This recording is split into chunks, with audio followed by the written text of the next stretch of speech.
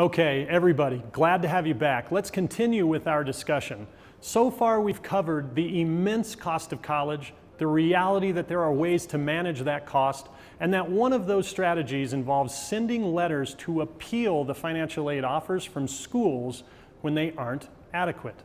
So, why do these appeal letters work? Well, it's really quite simple. Once you are able to recognize that colleges and universities are businesses, it all comes together. Students are the customers of a school. Education is the product. In order to stay in business, the school has to sell education to the student. Empty chairs are a university's worst enemy. If they need to offer a few discounts to ensure a full enrollment, so be it. But one area where schools begin to differ from businesses is that some of a university's customers will continue to give money even after they're done paying for the education. I'm sure all of you have been solicited by your alma mater for donations after you've graduated, right? Of course you have. And who do you think donates the most money to their alma mater? The best, brightest, and most successful graduates, of course. So sometimes a discount isn't even a discount, it's an investment an investment into future donations. Did you know that Harvard University has a $34 billion endowment? The University of Wyoming, a fairly nondescript school, has 422 million in its endowment. Where do you think that money comes from?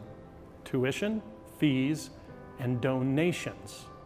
Like any good business, schools are very thoughtful about how they use their money.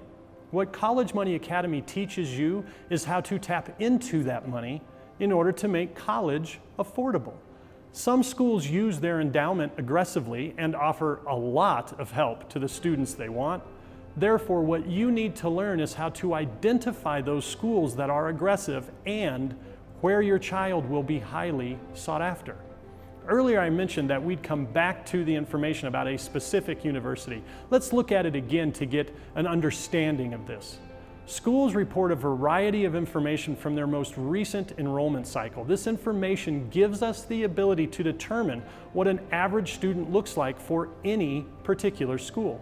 What you see here is from a service we subscribe to, and in my College Money Academy online program, I show you how to access this information as a consumer which you need in order to appeal effectively.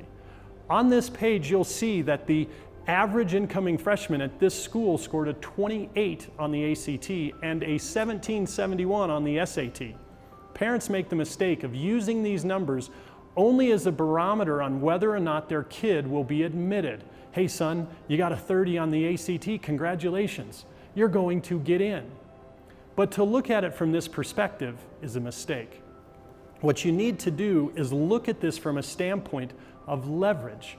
You see, if your son scored a 30 on the ACT, is he average? No, he's not. Should he then receive an average financial aid offer? No, he shouldn't. We already know that the average offer for those without financial need from this school was $16,218, and the average for those students with financial need was about $29,000. So if you're an above average student for this university and you receive a below average offer, then what do you do? That's right, you appeal. Let me give you one more example. This one just happened. I was meeting with a couple whose son scored a 33 on the ACT. That is incredible. He's been admitted to the University of Colorado, which you'll see here. And the school offered him a $5,000 grant, free money.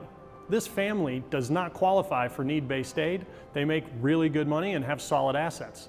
I asked the dad, are you, are you going to accept this or are you going to appeal it? He said, I don't know. Is it a good offer? Well, let's look. The average gift aid award was about $9,700 and the average student scored a 27 on the ACT. There's a huge difference between a 27 and a 33 on the ACT. So did CU lowball them? Yes or no? They most definitely did lowball this family. So this dad now feels empowered. He now has some leverage, some room to negotiate. I'm extremely confident they will receive money and I can't wait to hear how it works out. Okay everyone, we're getting close to the end. Thanks for sticking with me. I'll be right back.